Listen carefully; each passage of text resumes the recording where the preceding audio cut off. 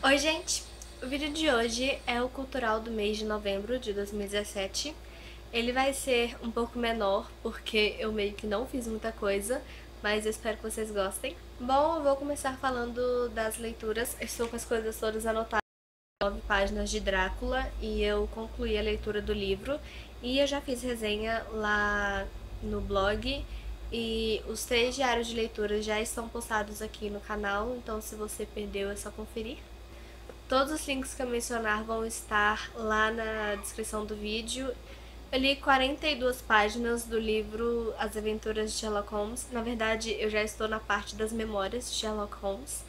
E foram 42 páginas boas, foram dois contos, que eu vou colocar o nome aqui do lado porque eu já me esqueci. E eu prova provavelmente só vou terminar de ler esse livro no ano que vem, então falhei aí com um dos livros da meta do ano, só que ok, né? Pelo menos eu tentei, eu li ele quase inteiro.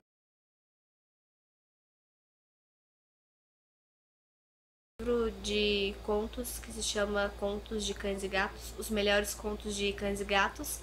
E nesse conto é é narrado por um cachorro que fala sobre a vida dele e é um conto triste. Já vou dizendo que é um conto triste e foi bom ter lido ele em inglês. E ali também um livro chamado O Destino Escolheu Você, que é da Duda e da Beatriz. Eu não vou arriscar falar o sobrenome da Duda porque é italiano e tem dois E's e eu não sei como eu vou pronunciar aqueles dois E's. Porque vai que é tipo no pizza, mas vai que não é também, né? Então vamos só falar Duda e da Beatriz Cortez. De filmes, é, eu vi um filme e vi uma série. Eu vi Frozen e foi a primeira vez que eu vi Frozen e é um filme incrível e chorei. É uma série muito boa e eu vou fazer um post sobre essa série lá no meu blog, então acompanhem o blog para não perder o post. De música, o meu novo vício é Capricorniana, que é a poesia acústica terceira. E é a única. É o único vício musical novo, porque continuo ouvindo as músicas que eu ouvia antes. Ana Capricorniana, você acha que me engana? Desculpa, mas não quero ver você partir. E um extra é que eu fiz três entrevistas lá no blog com a autora Renata Mello. Eu adorei ter feito as entrevistas com a Renata e as três já estão postadas lá no meu blog. E o vídeo resenha da trilogia também já está aqui no canal desde junho ou julho.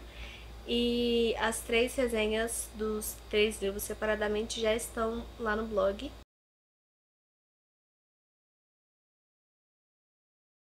A cidade vai fazer 120 anos e a prefeitura resolveu organizar vários eventos culturais, então tem teatro, música, dança, é, exposições, é, rodas de cultura, e tem várias coisas legais. Eu não sei se eu vou conseguir ir, mas eu espero que sim.